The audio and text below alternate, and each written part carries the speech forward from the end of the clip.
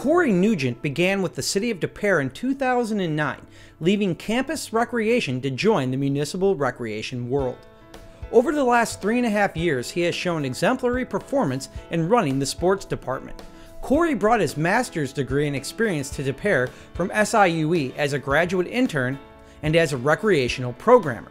Cory continues to build the sports division each year. Even with the limited space he is given, Cory successfully implemented a sports rating system for both youth and adult leagues that have deterred unsportsmanlike behavior throughout his programs.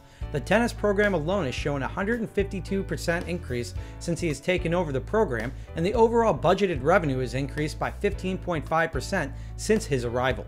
In addition, he runs a successful youth flag football program with over 500 participants each year.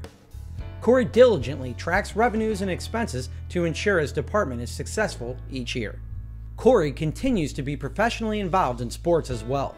He is an ex collegiate hockey player who now gives back to his community in Bethalto, Illinois. He has earned Coach of the Year honors from his conference for three straight seasons and has won three conference championships and two Class 1A titles.